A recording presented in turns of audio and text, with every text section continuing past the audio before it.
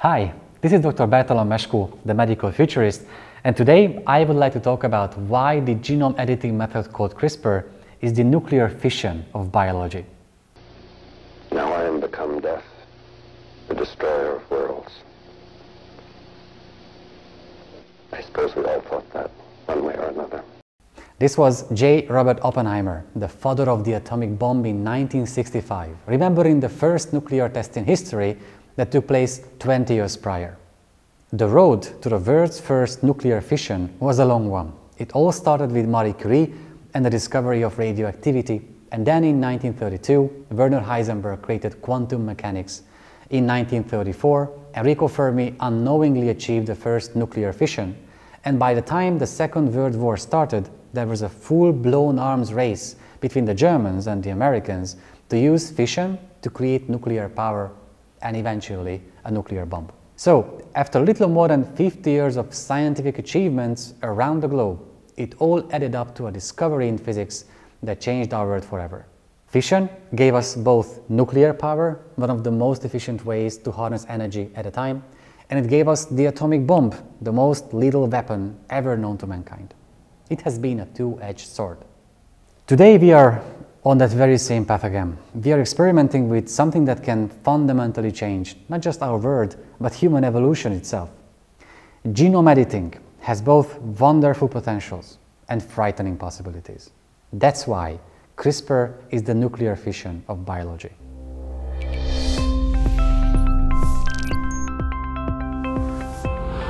It all started in 1987 when Japanese scientists first identified repeating sequences in bacteria's DNA and they named it CRISPR after clustered, regularly interspaced short palindromic repeats.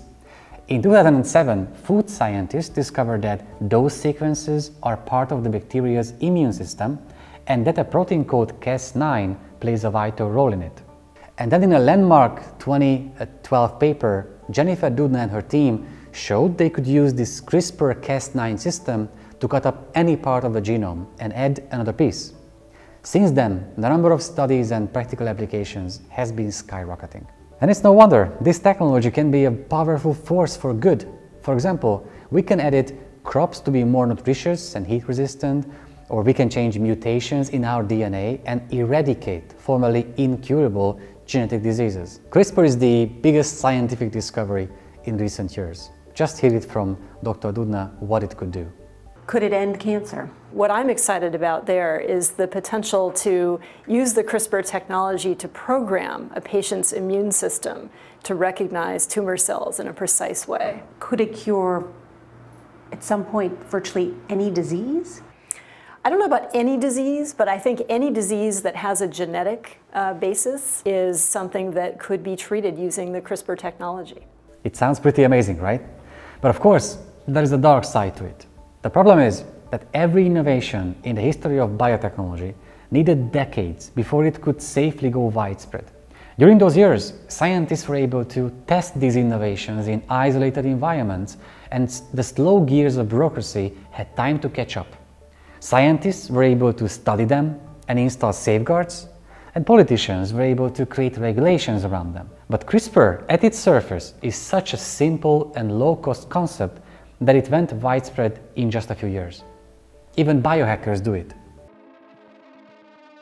Alright, so I'm, I'm gonna try to shoot to do half of it on one side of my stomach and then the other half on the other side. After I injected myself with CRISPR, the next biohacker to inject themselves was like a month later.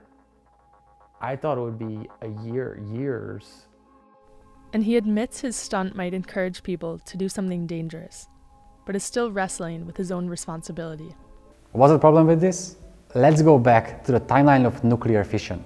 Now we are somewhere in the Los Alamos era, where scientists know that nuclear fission works, but they don't know exactly what it's capable of. Before the test of the first nuclear bomb, one of the leading scientists was even joking about how much they are out of their depth, only minutes before the first explosion. A hundred to one, we crack the Earth's crust and destroy the whole world. Now imagine if the technology behind the nuclear bomb would have gone widespread at that time when we didn't know a whole lot about it. And not just in a Cold War kind of way when Russians and Americans both had bombs, but imagine that people like that biohacker we've seen could have easily built a nuclear bomb in his garage. I mean, even today, one of the biggest threats for international security is not just nations with nuclear bombs, but a single nuke going loose with rogue group of individuals.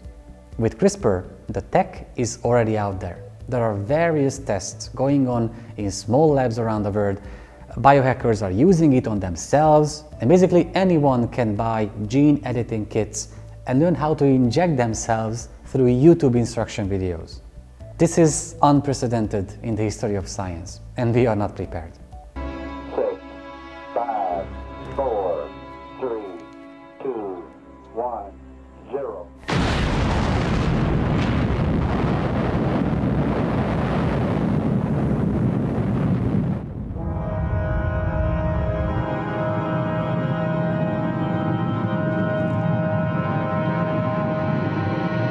All right, that was a bit too dramatic, but you get the point. With editing DNA, we are messing with the building blocks of life, and we are meddling with human evolution itself. We are experimenting with CRISPR so fast that scientists and bioethicists had no time to react to it, while politicians can't even wrap their head around it. Simply put, comprehensive regulations are not even close, while CRISPR's ability to wreak havoc on DNA has been seriously underestimated.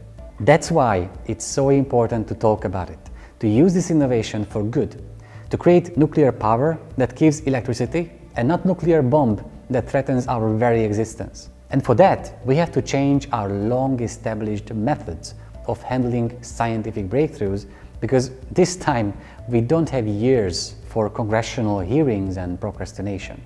Because there will be CRISPR babies sooner than we will have regulations for it. Actually, they have already been born. Two beautiful little Chinese girls. This is the doctor who changed the future of the human race and let the world know on YouTube.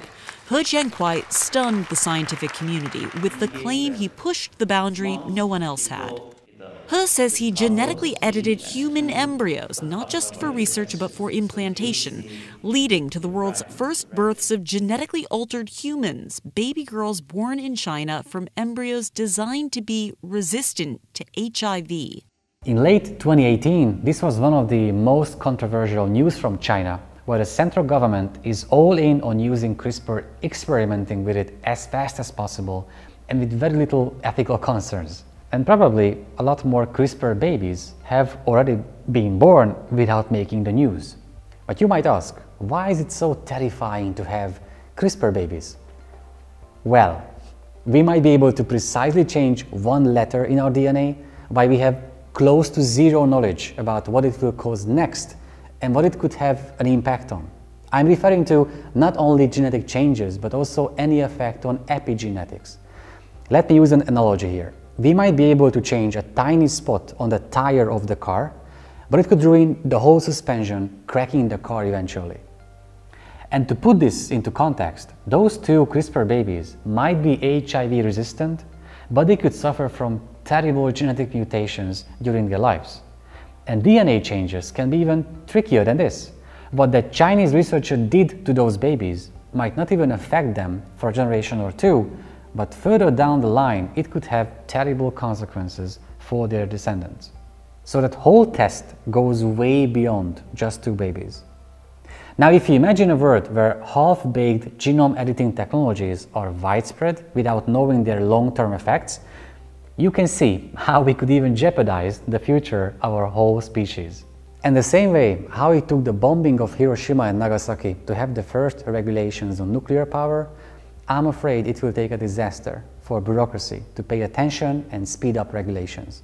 The trouble with CRISPR is that compared to the creation of the nuclear bomb, here nobody even wants to create a bomb. As far as we know, everyone is going into this with good intentions because the possibilities are amazing. But we don't need malicious actors to do something terrible and irreversible. During the 75 years of nuclear power, just remember how many times we were on the brink of catastrophe, how many close calls we had, where good intention and human error led to disasters.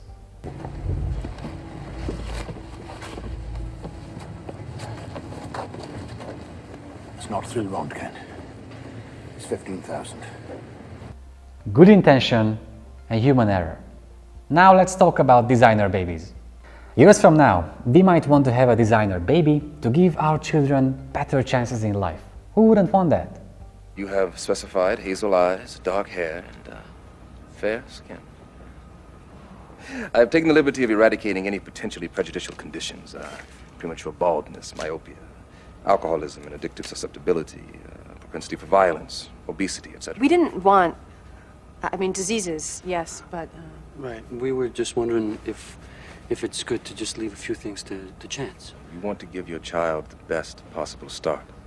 With CRISPR, we might be able to create a better physique and cognitive potentials for our kids, and we want to prevent diseases from happening, but we don't know what else we will change in the DNA and where it will all lead to. The way Arthur C. Caplan, a professor of bioethics, puts it, it's not that it's wrong to do it, but it's very premature. We don't understand CRISPR enough to safely engineer an embryo. And right now, the focus should be on fixing diseases, cells, and not on embryos, at least until we know what we are doing. And how the breakthroughs and discoveries in Los Alamos led to an arms race, CRISPR will lead to a scientific race. And if in only a few years we won't have comprehensive regulations, then CRISPR will thrive on the black market, which is as scary as it gets. To go back to our analogy, it would be like if anyone could buy a nuclear bomb on eBay. But it's not all doom and gloom. Yes, with nuclear power, we had terrible disasters over the decades, and it's never going to be as safe as renewables. But in 75 years, we studied how to control it and learned how far we can go with it. And with time, we will know enough about CRISPR too that we will be able to safely use it. But for that, we need to further study our DNA's impact on our health, the role of epigenetics in all these, and whether it's possible to alter tiny variations without any unfortunate consequences. And even today, we have some amazing results. For example, US scientists have recently used CRISPR to repair a genetic mutation responsible for an inherited condition that leads to blindness in almost 1.5 million cases worldwide. They say treating this eye disease could be the first therapeutic use of CRISPR. Or in London, doctors decided to use gene editing in a fight against cancer. When a young girl with leukemia had not responded to traditional treatments, doctors decided to use gene editing to alter immune cells to more effectively locate and kill leukemia cells without attacking the girl's organs. Today the girl is healthy and cancer-free. It's important to understand that these experiments mark the beginning of a new era in healthcare. Um, in the next three to four years, the first clinical trials with, with CRISPR, which are being done for diseases as different as sickle cell disease and HIV and cancer, will be complete. And under the assumption they're shown to be safe and effective. These are one-of-a-kind therapies that are engineered to produce cures, and they should be available in hospitals in countries with well-developed healthcare systems starting about five years from now. In the future, getting rid of cancer could mean just an injection, as we do now against mumps, which used to be a deadly disease in the 1800s. And if examples like the possible end of cancer and the treatment of most of the genetic diseases are the most likely scenarios happening very soon, imagine the scope of results we might get further down the line. Scientists at Harvard believe we can even bring back extinct animals like the woolly mammoth. Perhaps one day we can see real-life Jurassic Park happening. But the same way we did it with nuclear power, we need to get the technology under control and we need strict regulations. Otherwise, it can all go horribly wrong.